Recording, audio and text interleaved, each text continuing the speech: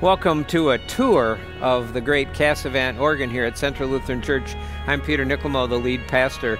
This will be a behind the scenes look beyond the pipes and the instrument that you can see, also to the other places of the life of, the, of this instrument. The Casavant came on service in 1963 as a landmark instrument. There are peers of this instrument, but it still is one of the significant moments in organ building in the United States. So enjoy this tour. It has blessed this congregation's worship and the community that has surrounded it for over 60 years, here housed within this historic sanctuary that is nearing its 100th birthday. So enjoy the tour. Hello, my name is Isaac Drews, and I am the Director of Music here at Central Lutheran Church. Have you ever wondered what's going on behind the scenes in our organ? Today, we're going to take a look at all the things you can't see from the pews in the sanctuary that make our beautiful 1963 Casavant organ sing. If you haven't watched our Organ 101 video, you might do that first, as that's a great place to learn some organ basics. Here to be our guide is our wonderful organ technician, Russell Drager. Thanks, Isaac. As Isaac mentioned, my name is Russell, and I am the president of R.W. Drager and Company here in the Twin Cities, and I'm the caretaker of the organ here at Central Lutheran. Uh, today, I'd like to take you inside of the organ so you can see how the organ works while the organist plays. To access the center part of the organ, Russell climbs an extension ladder. Now he is entering the space between the wall behind the organ and the stained glass window it covers. It's in this space that he can climb up to the second level of the center section of the organ. So here we are in the great division of the organ, which is just a portion of the some 5,800 pipes that are in this organ in total. In organs, there are basically two kinds of pipes. Some behave like flutes, and these are like the ones you see on the front of the organ and have no moving parts. But others, which we call reed pipes, actually do have moving parts. These pipes behave like instruments you may have played when you were in grade school, like oboes or trumpets.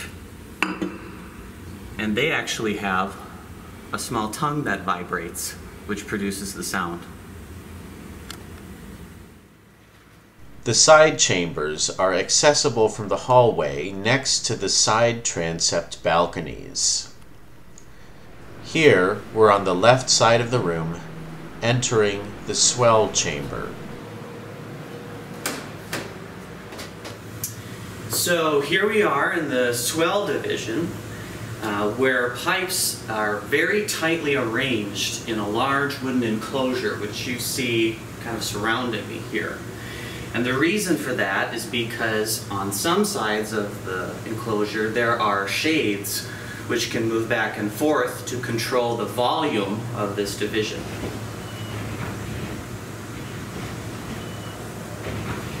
And the shades are controlled by a motor which is actually below me right now.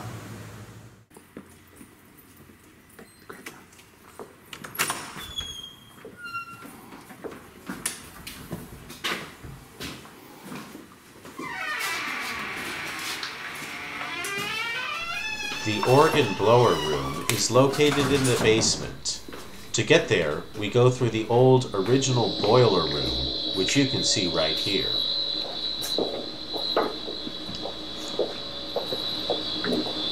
The organ blower itself is located within this enclosure.